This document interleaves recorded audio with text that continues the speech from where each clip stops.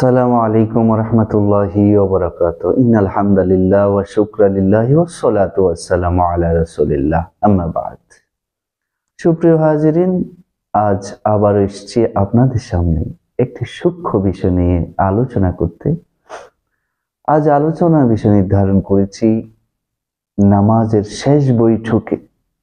ইমামের সাথে যদি কোনো মুসল্লি তার এক রাকাত কিংবা দুই রাকাত নামাজ তার বাকি থাকে, তখন শেষ বৈঠক ইমামের সাথে তাসাউদটা পড়ার পর বাকি কি দরুদ শরীফ আর দয় মাসুরা পড়বে?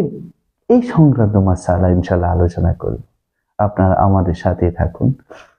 সুপ্রিয় দর্শক, এই যে বিষয়টা আমরা অনেকে ভুল করে ফেলি।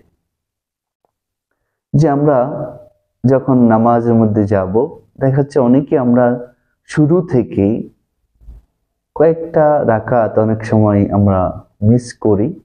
অর্থাৎ দুই এক রাকাত অনেক সময় মিস হয়ে যায়। এখন আমরা কি করব?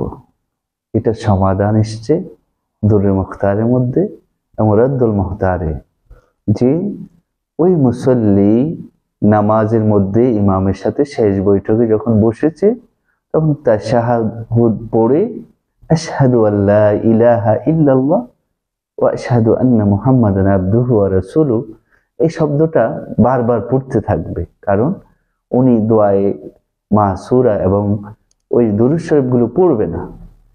এটি হচ্ছে সমাধান। এটা আসলে আমরা অনেকে না জানার কারণে অনেক সময় আমরা ইমামের সাথে দোয়ায় মাসুরা এবং দুরুদ শরীফগুলো পড়ে নেই। এটা শরীয়ত সম্মত না। এই বিষয়টা আমরা যেন জেনে আমল করে আল্লাহ যেন তৌফিক দেয়। আসসালামু আলাইকুম ওরহমতুল্লাহি অবরাকাত